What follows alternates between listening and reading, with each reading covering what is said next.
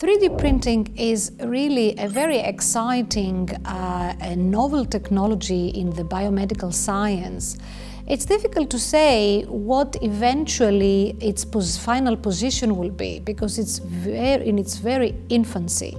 I do see some advantages and I do see some disadvantages. So I think that the time will actually tell what its final value will be. But I can see that it has some indication in the preoperative consultation for very anxious patients, for, for example, and I can see that it can also be helpful for the surgeon uh, when it's used uh, in intraoperatively as a reference. So yes, it has a position. We actually have a device in our department which we use for very few cases in rhinoplasty.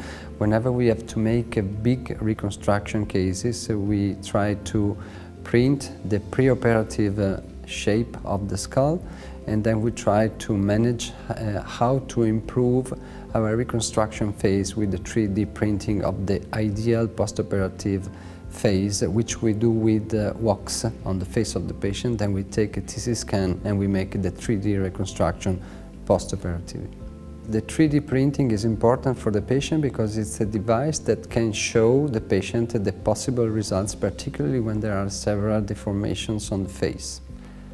3D printing will have its place in rhinoplasty as it's having its place in many other surgical domains. But for now, it's not so clear what exactly and in what patient 3D printing may be an added value.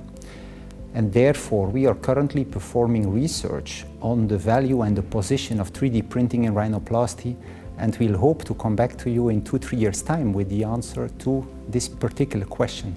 From my perspective, and this is a very personal opinion, I do think 3D printing is really important in counseling of the patient about the postoperative results.